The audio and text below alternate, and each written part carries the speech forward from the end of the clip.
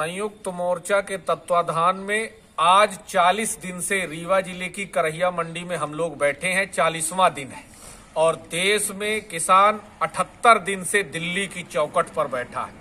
और देश के प्रधानमंत्री और कृषि मंत्री इस तरह अनर्गल और उटपटांग बयान दे रहे हैं। कभी किसानों को खालिस्तानी, कभी टुकड़े टुकड़े गैंग, कभी आतंकवादी।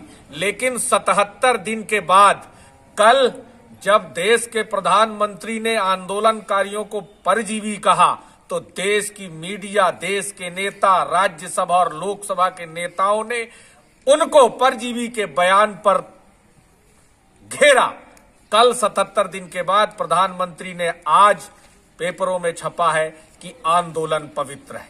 जिस तरह से ये आंदोलन, किसानों का आंदोलन है और किसान अपनी तीनों काले कानून वापस कराने और एमएसपी का लिखित गारंटी चाहता है। ये आंदोलन तभी खत्म होगा और सरकार भी मानेगी। प्रधानमंत्री जी 77 दिन में आज आपने आंदोलन को पवित्र माना है। ये आंदोलन तीनों काले कानून वापस कराएगा और जब तक वापस नहीं होगा, हम लोग घर नहीं जाएँगे। जय जवान, जय किसान।